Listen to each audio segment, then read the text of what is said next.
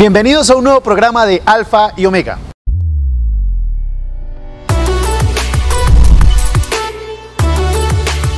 La polis es un concepto griego para definir el Estado, la democracia, la ciudad. Pero ¿tendrá la Biblia que decirnos algo referente al tema?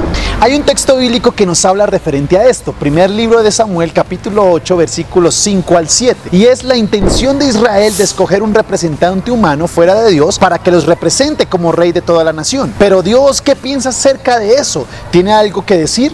Claro que sí. De hecho, Dios piensa que es una mala idea escoger a un líder humano para que lleve al pueblo a ser democrático. ¿Por qué?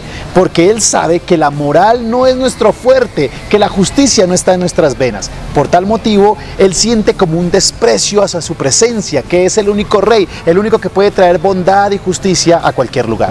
Pero es obvio que aunque Dios tenga este repelo hacia el líder humano, pues necesitamos de un representante entre nosotros para que pueda llevarnos a una equidad o a un estado mucho mejor en nuestra sociedad. Pero hay unas condiciones o requisitos que Dios expresa en su palabra. En Deuteronomio capítulo 17, versículos 14 al 20, está la opinión de Dios de cómo debe ser un representante que lidere a una nación. El primer requisito de ellos es muy importante y es que tiene que ser escogido por el pueblo y tiene que ser parte de la nación. No podía ser un extranjero. Es decir, uno que no fuera ajeno a las condiciones del pueblo, uno que estuviera inmerso en las necesidades y en las deficiencias que tenía el pueblo y la sociedad como tal.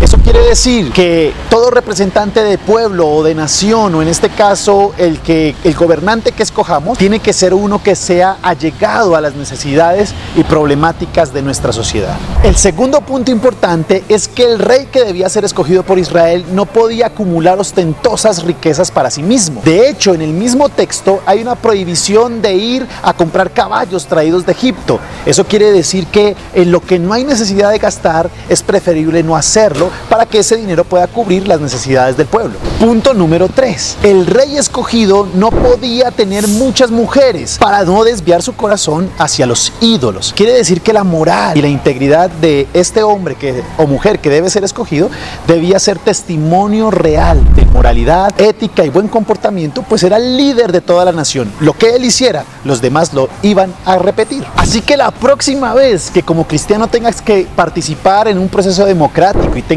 que dar tu voto a uno de los representantes, hazlo no solamente confiando en lo que te dicen los medios, sino también en lo que dice la palabra, que este hombre o mujer pueda contener las características que Dios le pide para ser un digno representante de su nación. En conclusión, como cristianos sí debemos participar de la democracia y dar nuestro punto de vista respecto al tema, pero debemos definir bien nuestro criterio, que este hombre o mujer tenga las características que Dios pide en su palabra. Sabemos que la salvación de nuestro país no viene por un hombre, pero por lo menos si sabemos escoger adecuadamente, si vendrán tiempos de refrigerio, de justicia y equidad para nuestro país. Este fue el video de esta semana en Alfa y Omega. Sigue pendiente a todas nuestras redes sociales porque seguiremos subiendo más contenido. Chao.